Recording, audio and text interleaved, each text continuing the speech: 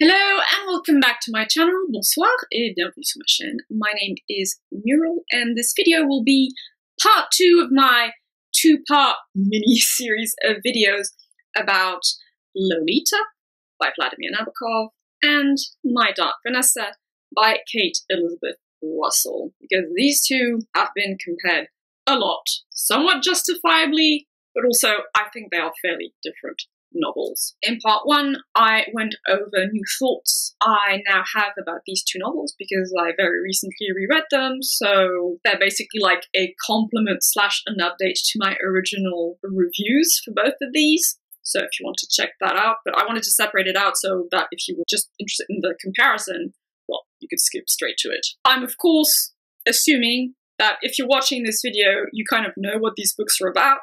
If you don't, I would kindly first of all recommend you read them, and or second that you go check out my original reviews where I go over the plots of each of these novels. So first we're going to take a look at the writing. In my opinion, as I stated several times, Nabokov was a true master of, well, writing in the English language, a true wordsmith as I like to say. Lolita remains to this day one of the most beautifully written novels I've ever read in the English language. Just the level of writing, there's not a word out of place, there's not a sentence out of place. There's so many beautiful turns of phrases. He manages to make something beautiful and poetic out of a very dark subject matter. So kudos to that. And he gets so playful with the language as well. He's a wordsmith, but he has fun doing so.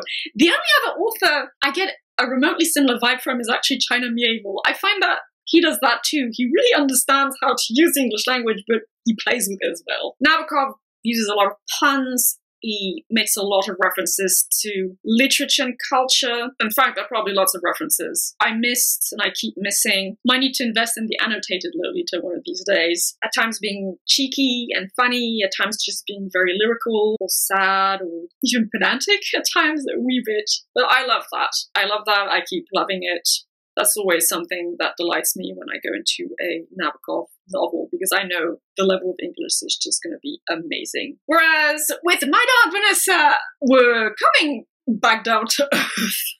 I'll put it that way. Lolita's there. My Dark Vanessa's there. And it's fine. It's not garbage writing either not saying that. It's a fairly like contemporary style of writing to reflect the way the characters speak, I guess. It's nothing particularly lyrical or descriptive. I guess there are a couple of passages that are a bit more evocative and pretty, but they're few and far between. And so, yeah, lots of words repeated. She has certain formulas she sticks to to describe certain scenes, especially the sex scenes that involve traumatic dissociation, and that got annoying very quickly. And also, I mentioned this in part one, but I just cannot get over the X'd out thing. That is just so ridiculous and lazy to me. Just use the word exiting or closing a window on your computer because just simply putting an X slash ed out, come on. I expect better from literary fiction. That makes me elitist. So be it.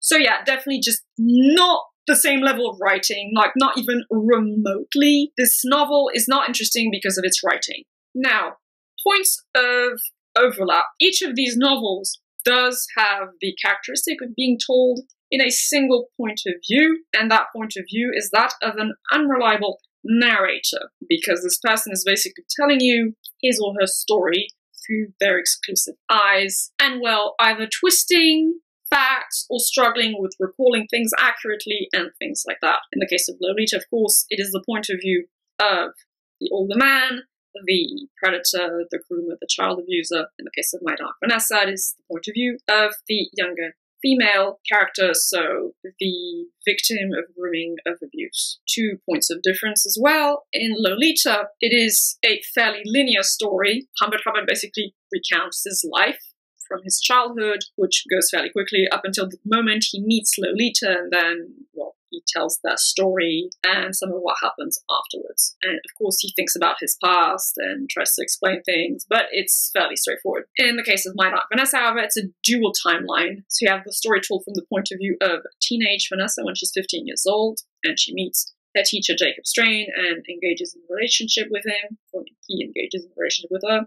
And then you also have her point of view as an adult woman of about 32 years old, trying to remember what happened and dealing with the fact that other women, ex students of her teacher, have come forward with allegations of sexual abuse, sexual assault, and well, she has to deal with all of that. That makes it very interesting as well. I'm going to come back to this when I talk about the characters, but I think actually it was necessary because Vanessa as a character I felt was actually fairly empty. So giving two different age perspectives does help to flesh the narrative out a bit. It also helps to well explore the kinds of things you would think or say in Vanessa's position, which is what interested me as someone who went through something very similar to her. Character wise, well, again, most of the praise here I'm going to give to Lolita because the character work in Lolita is superb. Chef's kiss, as they say. It is a deeply psychological novel. You're literally in the head of the main character, and he does his damnedest to tell his story, explain his inner feelings, his inner demons, his inner thoughts, and try to convince you that he's not a complete monster or that he's not completely irredeemable. The background information given about him as a character is fairly comprehensive. I mean, like I said, he starts telling his story back when he was like a child and then a young adult, his years in Paris before he moved to the States and met Lolita.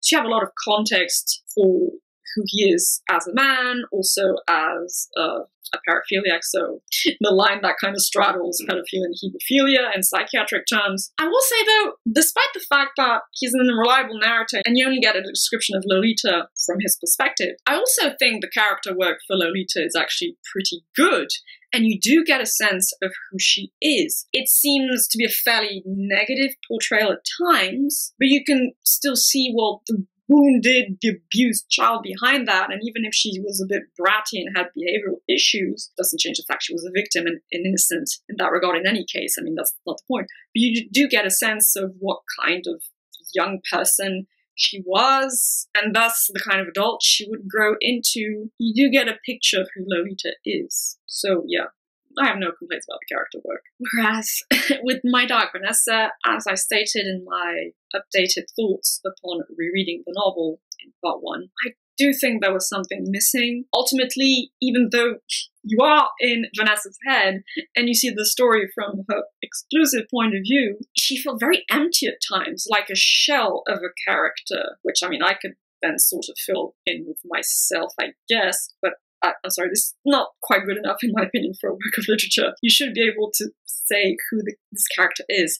Contrary to like Lolita, there is next to no personal historical context for her. So by that I mean like her personal life history before she was 15 and before she met her teacher is basically absent non-existent so there's no context to inform any of her reactions any of her personality quirks why she is in the situation she is in the first place. So why did she get so obsessed and attached to her female best friend? And so now she has no friends. Does she have social anxiety? Does she have depression in a way? Like, is she intellectually gifted? Is she not? She's in advanced placement classes, and there's like this line that says she once came home from school with a report card saying, "Oh, Vanessa's eight going on 30. But then the author does nothing with that. Sometimes it's that she loves the family dog, but it's all about her relationship with the teacher. Nothing else exists. And like I said, I don't think being groomed or abused is a good enough explanation because that never happened to me. And I don't think what Vanessa went through was more traumatic or violent than what I went through. So, okay, uh, whatever. So yeah, felt a bit empty. Strain as a character, so Jacob Strain, her teacher, I guess it was fine a bit on the same level ultimately. Ironically, I guess I'm less bothered about that. But my point is, Lolita as a secondary character almost, because I mean, she's described through the lens of Humbert Humbert, to me felt more fleshed out, despite the fact that Humbert Humbert isn't a reliable narrator. She felt more fleshed out than Vanessa Wye, the main character of My Dark Vanessa, who is the person whose point of view you get throughout the entire novel. That to me is a problem. Now, one thing I will say though, one thing you could potentially criticize about Lolita is that you are in Humbert Humbert's head a lot, and there might be an unbalanced ratio between being in his inner thoughts and having things like dialogue with other characters, notably Lolita, though I think it's a very minimal complaint. Whereas in My Dark Vanessa, one thing I did enjoy about it, again, enjoy might not be the most accurate term here, but I'm going with that, is that, well, the author did a very good job of like having a template for the kinds of thoughts and the kinds of things you would say as a person in Vanessa's position, defending her teacher, convincing herself that it was an extraordinary love story, and things like that. So the dynamics between her and Jacob were well done because of the dialogue the author chose to give to them, the kinds of conversations they have, the words they exchange, and then the types of conversations Vanessa has with like Taylor Birch, this other girl who was supposedly assaulted by Strain much later, or the conversations Vanessa has with her psychologist or with her college professor. Those things to me were well realized. So, not so much her internal development as an individual character, but the dynamics between the characters that allowed for the development of the themes of the novel and the conversations I think the novel wants to foster in wider society. So that I will give to My Dark Vanessa. Now, so far I've pointed to, I guess, differences in quality between these two novels with regards to the writing and the character work. And I've pointed to like areas of overlap in how the story is told. But where I think you can really point to these novels have similar elements, but these novels are also fairly different and are trying to do different things, it's with the themes and even actually the plot to a certain extent. I would like to stress this Lolita, in my mind, isn't really a story of grooming, which I know might sound weird. It's definitely a story of, uh, among other things, uh, predator abusing a, uh, a minor, like a very young teenager. I don't think Lolita's groomed though. She's never groomed. She's basically kidnapped. Like her mother dies, and she's well taken on a road trip with Humbert Humbert. Like yeah, she's a bit flirty with him, like in a childish way, and she kisses him and whatever because she's a flirty tween, right? There's the whole development mental thing that's perfectly natural and normal, but adults aren't supposed to encourage that with themselves, obviously. But she doesn't fall in love with Humbert. She never loves him, and she hates him and wants to escape from him. So it's not a story of grooming as such. It's a story of abuse, but not grooming. My Dark Vanessa is a story of grooming. Even though I'm not even sure Vanessa ever says that she loves Strain, we're gonna assume she was in love with the teacher. At the very least, she was obsessed with him and constructed her entire identity around him and was in a couple with him for seven years, like I was with my own teacher, though I started at 13 and cheated at 15. So it's fairly different. Like that, that's the story of grooming an actual relationship. She was in love. We're gonna, we're gonna say that. We're gonna say that she was in love, even though I'm not entirely sure. Whereas in Lolita, that's not the case at all. Like Lolita is never in love with Humbert Humbert. She she hates the guy. She wants to escape from him. She's disgusted by him. Like that to me is a pretty important difference to begin with between these two novels plot wise. But the themes. So I'll go over the themes that just don't overlap at all, in my opinion. Nabokov's Lolita explores such things as sublimating, perversion, evil, harm, destruction in a way through art, through beauty, through literature, tries to elevate something deeply dark and twisted and tainted to something more luminous and lofty and ultimately redeemable. I also think, at least from reading analyses of Lolita, that there's a conversation going on about the conflict between the cultures of new consumerist America, at least the America of the 1950s, of the American dream, and old Europe. The old Europe of refinement and culture and the arts and literature, all the things that Humbert Humbert loves that Lolita doesn't give a single crap about. In My Dark Vanessa, you have the theme, well, of trauma and abuse and how a person evolves alongside it and how someone comes to terms with it and tries to deal with it and make peace ultimately with it.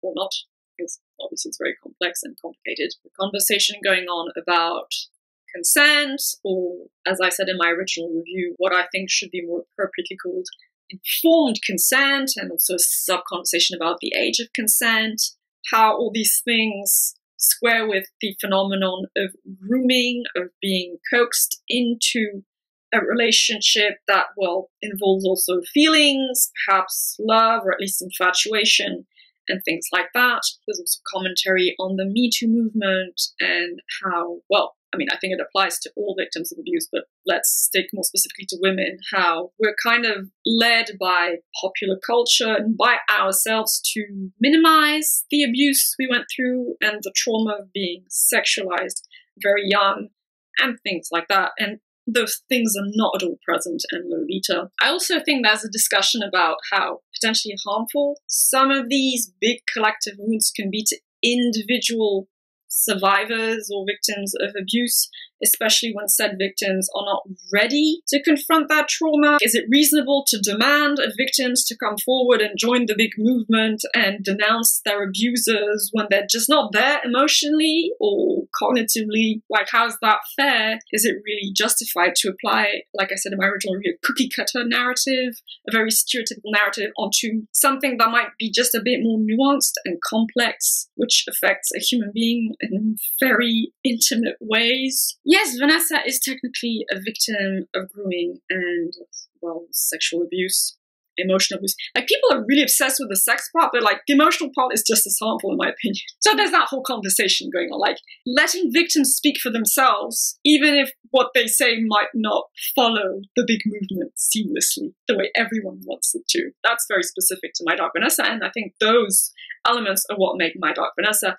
valuable and interesting where might Vanessa and Lolita overlap one another. I do think they both share a certain motif of, well, I'm going to use the word trauma for Lolita as well. Trauma and memory, basically, the importance of memory to the construction of yourself and your identity, because Humbert is remembering everything that happened up until the moment he's writing from his jail cell. He has a very good memory, he says, but sometimes you kind of wonder, are you re- recollecting this accurately? And sometimes even he says, like, I might be mixing things up. And so basically constructing a story maybe a fantasy out of memory because, well, that's also a thing. Like, what you remember, is that actually what happened in your life? All memories, in a way, are constructions made by our brains. I mean, the perception of reality is a construction made by our brains, but again, another conversation for another time. So all of that is kind of still a bit wobbly around the edges in My Dark Vanessa, this is very relevant because Vanessa, as a 32 year old, has a hard time remembering what happened when she was 15 and exactly what she felt,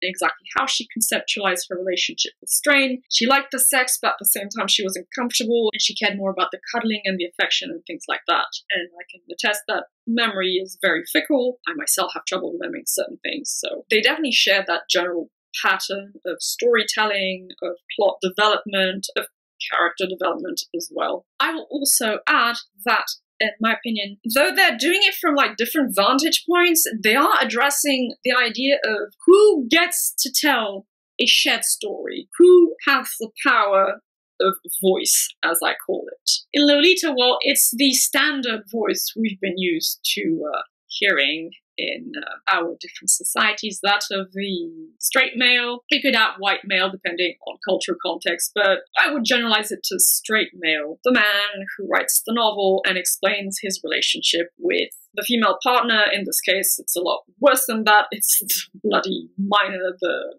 child slash very young teenager. He gets to tell the story of his relationship with Lolita and entraps her in a way in that novel. He immortalizes her, but on his own terms, she never gets a say in any of it. I might add, by the way, that that's something touched upon in this memoir I read also this year that's called Le Consentement by Vanessa Springora, which was, which is, sorry, a woman who also was in a relationship with a French author in like the 80s when she was 14 years old. And the author is now like 80 and he's actually on trial for pedophilia because the guy also like saw underage male prostitutes in the Philippines and he had lots of relationships with um, minor girls as well. And the guy waxed poetical about his pedophilic leanings in his writing. So that's the whole thing. But she talks about that in her memoir, like who gets to tell the story. And in My Dark Vanessa, there's that same conversation. Who gets to tell the story of what happened? Now, like I said, there's the caveat that it goes further in the sense that who gets to tell the story, even if it's for the greater good, but you don't want to because it just touches on something very personal. So there's an added layer to that, in my opinion. But it's it's the same idea. In this case, Vanessa finally gets to tell her side of the story. You finally get the female voice in the relationship, in the abusive relationship. So those are the points where Lolita and My Dark Vanessa definitely come into contact. And though they are important points, that's it in a way. There are important points. Like these two works are not completely divorced from one another, right? That's not the point I'm trying to make. But I'm, I'm a bit wary of people still continuing to say, like, oh, this is the answer to Lolita. It's like the comeback from Lolita to Humbert Humbert. No, it's not. Not really. They're different works of literature. They're just on different, for one, levels with regards to just sheer mastery of the English language and even character work and character psychology. But they're also just doing different things. They're doing different things, exploring different ideas. The plots are different. Yes, it's the abuse of female minors by a predator. I will say that definitely points of similarity in the psychology of Jacob Strain and Humbert Humbert. I will say this, I agree that My Dark Vanessa is, well, among other things, the author's answer to the misinterpretation of Lolita in popular culture and by probably a lot of readers. Because unfortunately, Lolita has become like an archetype of the sexually promiscuous and provocative, very young teenager, like basically a person of pubertal age or just past it in the case of someone like Vanessa. That I'll agree with. It's an answer to that. But like in the novel Lolita itself, the author never makes the apology of pedophilia, of child abuse. I want to make that very, very clear. And it's just, it's doing its own thing. It's also, people have dubbed it Nabokov's love letter to the English language because of the way he plays around with the words. But I mean, he does that in other English language novels. I want to rectify. I said that in my original review for Lolita. He wrote more than two novels in the English language. That was a big mistake on my part, and I'll amend that in the description. So yeah, it's just doing different things. And My Dark Vanessa really is specifically addressing that trope of like the older man seducing a teenager and like, oh, it's romantic or it's like subversive and provocative and edgy, etc. But no, it's actually harmful in all cases. I mean, I ultimately don't know, but probably in most cases. And of course, you could apply this to an older woman with a teenage boy or even same sex relationships. In a way, I, I want to say that Lolita kind of transcends the original plot device. That feels very flippant to say. It's not it's not a, quite a plot device, but it goes beyond like that central premise of the perverted relationship between the adult and the minor. Whereas My Dark Vanessa actually focuses in on that, in my opinion.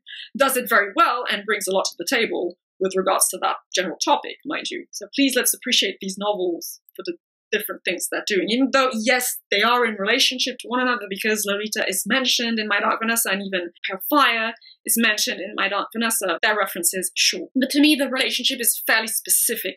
I would say it's an answer and then a development of that answer to the misinterpretation of Lolita as a novel in pop culture and wider society, and how that has affected the way we perceive these types of unhealthy and abusive relationships. All in all, yeah, they're fairly different works of literature, like I said. That was the point of this video. They are in a relationship with one another in a very specific way, in my opinion. I do think ultimately Lolita is the superior work of literature, but because thematically they're doing different things, they do contribute different things, and as such, both are valuable. Lolita, in my opinion, was constructed as its own integrated narrative from the get go, whereas I fundamentally stand behind that opinion, I feel like My Dark Vanessa was assembled after the fact in a way. So, like, she started writing this romance between Vanessa and Jacob over several years, as I understand it. And then she started getting into reading about trauma and like textbooks, I don't know. And then she was like, hmm, well, okay, I'm to make that work with that thing I've been working on for years. And so she jammed it all together like a puzzle but I feel like not all of the pieces fit as neatly as they ideally should, unfortunately. So at times it does feel a bit clunky. Those are my thoughts on that subject. What I would really like is someone to write a novel or fictionalized memoir or a novel of autofiction. I do see that's another thing. I, I feel like My Dark Vanessa would have worked better, which sounds extremely weird as a fictionalized memoir or a novel of autofiction and inject more of the author's visceral feelings. Anyway, we're past that now. But yeah, someone would write a work of literature that has both points of view. That's what I want. I want a dual point of view novel about a relationship more like Vanessa's than Lolita's, though actually my own relationship started closer to Lolita's age than Vanessa's whatever. But one way you would have the point of view of the predator and the point of view of well, the victim, and they would be in a relationship with one another. That'd be really cool. With the literary mastery of Nabokov and his character work, but the deep theming, or the deep specific theming of My Dark Vanessa. That ever gets written, I'm getting on that so quick. like, if it already exists and I'm not aware of it, please do tell me. So yeah, that's it for this video. I hope I wasn't too rambly and you found some of it somewhat interesting. But in the meantime, I hope you all have a lovely day, evening, morning, whichever, and I shall see you in the next video. Bye bye.